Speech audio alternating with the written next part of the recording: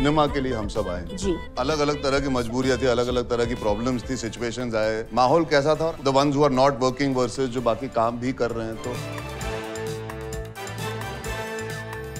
और मैं सोचता था मैं बहुत पैशनेट हूँ।